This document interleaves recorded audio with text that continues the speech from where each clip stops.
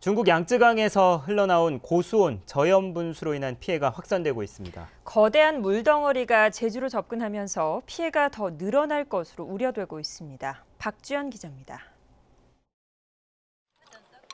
바다에서 해녀들이 가져온 소라들. 알맹이가 없이 껍데기만 남아있거나 썩어버려 악취를 풍깁니다.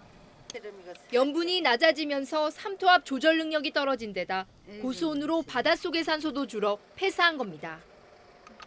해녀들은 상대적으로 염분이 높고 수온이 낮은 깊은 바다로 소라를 옮기고 있습니다. 소라가 양이 배신음이 나니까 막 죽어버려 가라.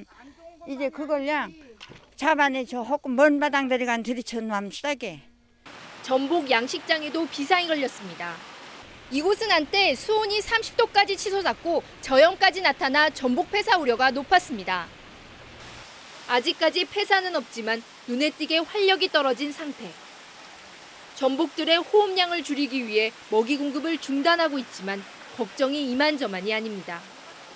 뭐 이런 고수온이 전부 오면 이 폐사가 너무 걱정이 되- 많이 되는 건데 대- 갑자기 대량 폐사가 돼- 돼버릴까봐 우리가 그냥 그 잠도 못 자고 있- 있는 중인데 고수온 저염 분수는 지난 주말부터 제주도 서부 연안 전체로 빠르게 확산되고 있는 상황.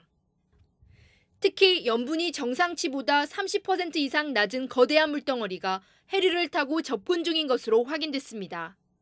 저염분 수치가 좀 나오고 있습니다. 그래서 예, 이 수계에서 나온 일부가 예, 우리 서부 해역 마을로장으로 이제 들어오지 않았나 이렇게 좀 생각 추정을 지금 하고 있습니다. 제주도는 저염 분수의 이동을 관측하고 어민들에게도 주의를 당부하고 있지만 뚜렷한 대책은 없어 추가 피해가 우려되고 있습니다. MBC 뉴스 박주연입니다.